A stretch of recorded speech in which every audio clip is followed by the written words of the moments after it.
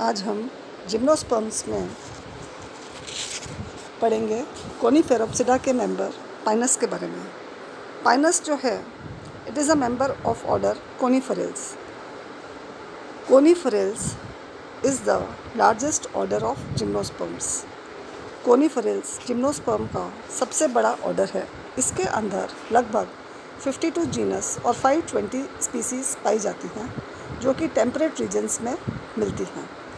इस ऑर्डर के जो मेंबर्स होते हैं, इनके ट्रीज़ का जो शेप होता है, वो कोन लाइक होता है। इसीलिए इन्हें कोनीफर्स कहा जाता है।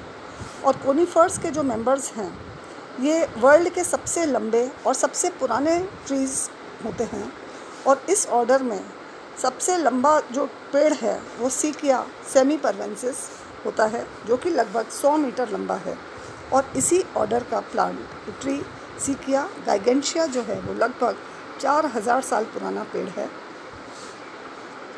These are woody trees which are evergreen and branch ये जो पेड़ होते हैं कॉनीफेरल्स के, ये काष्ठीय वृक्ष होते हैं, जो सदा हरित और शाखित होते हैं। Trees bear two types of branches dwarf shoots and long shoots पेड़ों के अंदर, पेड़ों के ऊपर दो तरह की शाखाएँ बौने प्ररोह और लंबे प्ररोह उपस्थित होते हैं।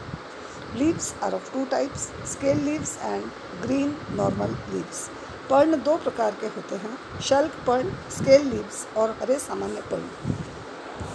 जिम्नोस्पम्स के अंदर फाइलस में हम देखते हैं कि ये जो हाँ, पौधा है इसका हम अगर क्लासिफिकेशन पढ़ें या सिस्टमेटिक पोजीशन पढ़ें तो ऑर्डर इसका सिस्टमेटिक पोजीशन में coniferophyta coniferopsida coniferales order class pinaceae family pinaceae और जीनस है इसका पाइनस पाइनेसी फैमिली के जो वृक्ष होते हैं, वो मोनोशियस होते हैं, यानी द्विलिंगाश्री होते हैं, अर्थात नर व मादा दोनों प्रकार के शंकु जो होते हैं, वो एक ही प्लांट पर, लेकिन अलग अलग ब्रांचेस पर उत्पन्न होते हैं। शाखाएँ जो होती हैं और जो पर्ण होते हैं, वो डाइमॉर्फिक होते हैं। और इस फैमिली के जो अधिकांश मेंबर्स होते हैं, वो उनके जो लीड्स होती हैं, वो नीडल लाइक होती हैं।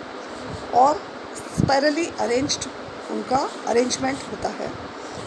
तो इसमें आप देखिए, जो स्पीसीज़ इंडिया के अंदर मुख्य रूप से पाइनस पाई जाती हैं छः हैं वो। एक है पाइनस जिरेडियाना ये जो स्पीसीज़ है, ये उत्तर पश्चिमी हिमालय में लगभग 1800 से 35 मीटर 3500 मीटर तक ऊंचाई पर पाई जाती है और इसके जो बौने प्ररोह डॉर्फ शूट्स जो होते हैं, वो त्रिपर्णी होते हैं, यानी कि ट्राइफोलेट होते हैं, क्योंकि इस पर तीन पर्णों का एक समूह उपस्थित पाया जाता है। इसे नॉर्मली चिलगोज़ा पाइन भी कहा जाता है और इसके जो सूखे बीज होते हैं, वो सूखे मेवे के रूप में खाने के काम में आते हैं। नेक्स्ट पाइनस रॉक्सबर्गाई या पाइनस लॉन्जीफोलिया ये हिंदी में इसे हम चीड़ नाम से सामान्य भाषा में जानते हैं। और ये वृक्ष जो होता है 30 से 35 मीटर तक लंबाई होती है इसकी। और इसके पर्णपुट पर तीन पर्णक पाए जाते हैं, जिन्हें नीडल कहा जाता है। और इससे हमें रेजिन और टर्पेंटाइन तारपीन प्राप्त होता है। तीसरा है इसमें पाइनस वॉलिशियाना या पाइनस एक्साइजिया। इसे इंग्लिश में ब्लू पाइन नाम से और हिंदी में कैल नाम से जाना जाता है और ये यूजली सिक्किम और अधिकांश कुमाऊं हिमालय को छोड़कर हिमालयन रीजन्स में लगभग 1800 से 3000 मीटर की ऊंचाई तक पहाड़ों पर पाया जाता है। इसके पर्ण स्पर में पाँच निडल जैसे पर्ण पाए जाते हैं इसलिए ये पेंटाफोलिएट होता है। और इससे हमें रेजिन और इमारती लकड़ी, यानी कि टिम्बर, प्राप्त होता है। फोर्थ है पाइनस खासिया, या फिर पाइनस इंसुलेरिस। यह खासी चीड़ नाम से जाना जाता है और आसाम की खासी और नागा पहाड़ियों पर मणिपुर में लगभग 1000 से 2500 मीटर तक की ऊंचाई पर पाया जाता है।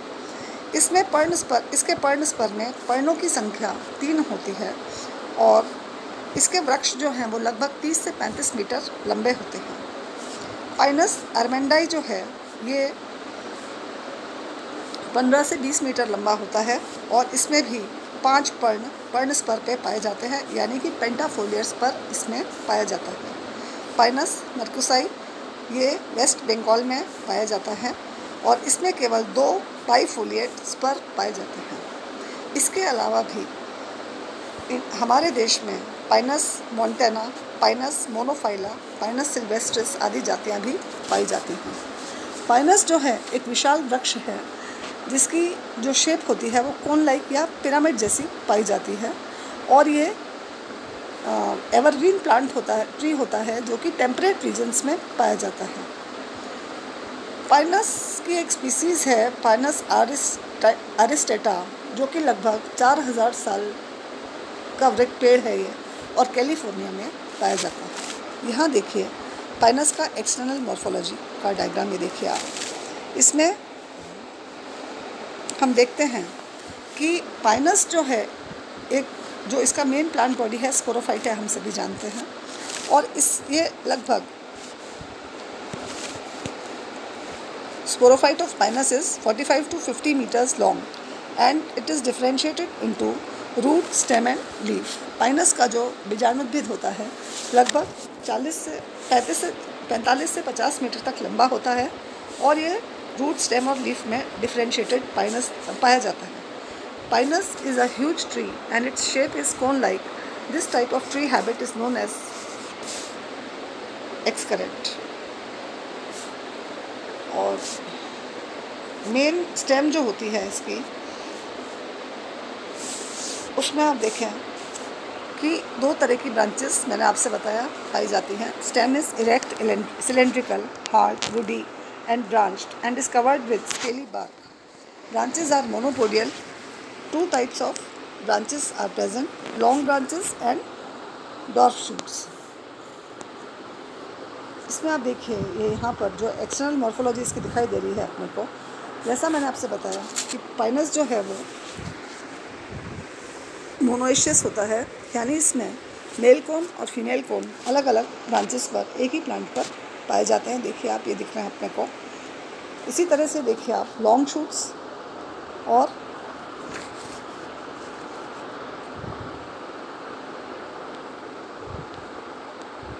एक्सटर्नल मॉर्फोलॉजी के अंदर ब्रांचेस ऑफ़ लिमिटेड ग्रोथ जो है वो डॉर्फ शूट्स हैं और ब्रांचेस ऑफ़ अनलिमिटेड ग्रोथ जो होती हैं वो लॉन्ग शूट्स के रूप में पाई जाती हैं।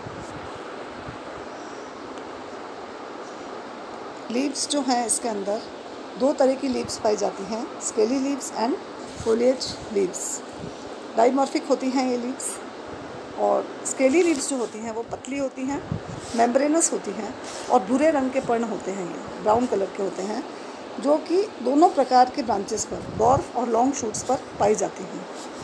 लंबी शाखाओं के परिपक्व जब मैच्योर हो जाती हैं, उसके बाद जो स्केली पॉइंट्स होते हैं, वो गिर जाते हैं और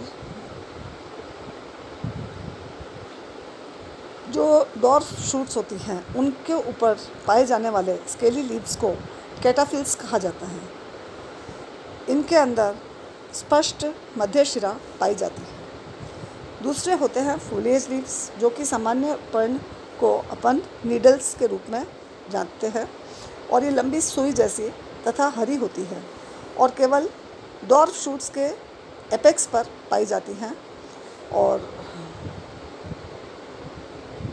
पर्ण स्पर्ग में उपस्थित पर्णों की संख्या एक जातीय कैरेक्टर है इसका, क्योंकि अलग अलग जातियों में पर्णस फुट में पर्णों की संख्या अलग अलग पाई जाती है। जैसे पाइनस मोनोफिला में एक पाइनस म्यूकिसाई या पाइनस सिल्वेस्ट्रिस में दो पाइनस जिरेडियाना या पाइनस लॉन्जीफोलिया में तीन पाई जाती हैं एक्सेट्रा थैंक यू